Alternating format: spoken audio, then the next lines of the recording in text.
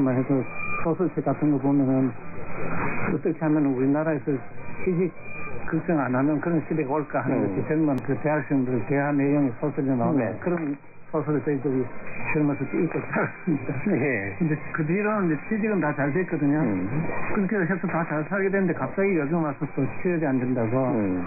이렇게 되니까 어떻게 보면 좀 저도 좀 이상한 생각도 들고 음. 또 그때는 농경 시대에서 직업이 우리나라가 종류가 별로 없었어요. 네. 그러니까 취직할 때가 별로 없었죠. 농사 짓는 거 아니면은. 음.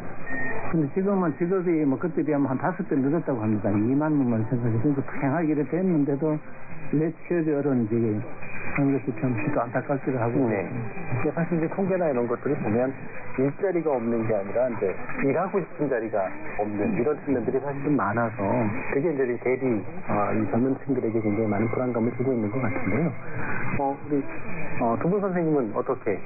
저희가 네. 어 이제 오랫동안 외국에서 살다가 오니까요. 음. 어, 낯선 게 한두 가지가 아닌데 네. 그 중에서 그 늘 얘기하는 게 우리나라 노인네들의 에, 표정, 표정. 복장, 음. 어, 그런 게 아주 이상했어요. 네. 어떻게 이상한 건 우선